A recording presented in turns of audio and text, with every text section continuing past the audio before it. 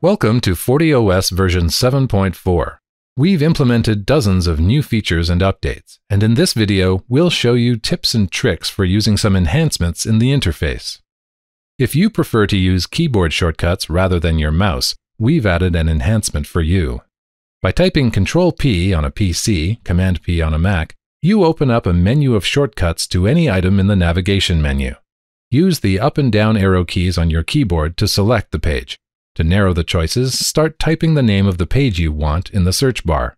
To navigate to the selected page, press Enter, and to close the menu, press Escape. We also have a menu of common commands. You can open a new CLI console, change your password, log out, start a new packet capture, and many more. We've updated some of the diagnostic tools. In particular, we've upgraded packet captures. To open the packet capture dialog, use the new command menu, or click on the Network Diagnostics menu, or simply hover over an interface you want to capture and click the Packet Capture button at the bottom of its tooltip.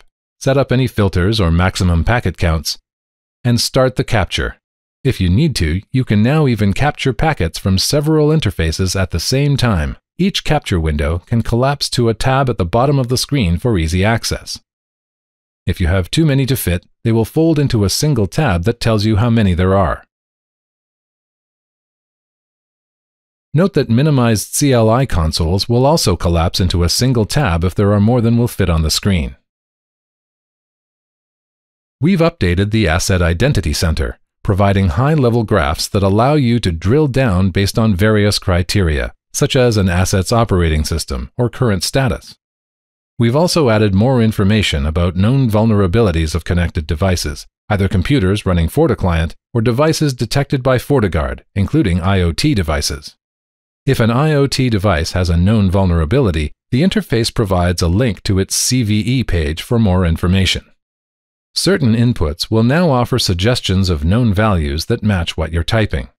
For instance, in the virtual IP dialog, once you click in the external IP address box, a list of suggestions pops up, which then narrows down as you type.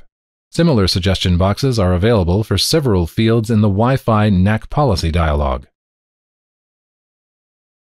To help administrators ensure that policies are in the right sequence, we've introduced a new Policy Match tool.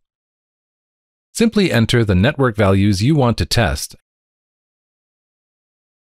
and the tool will find the first policy that matches, allowing for easy troubleshooting. If you have a large number of policies, changing their order by dragging them, possibly over several screens, can take some time. Now, you can just click Move by ID in the floating menu and choose the policy you want to move next to, either above or below. You can even choose whether to have the list scroll to the policy in its new sequence location. Thanks for watching. For more technical videos, visit video.fortinet.com.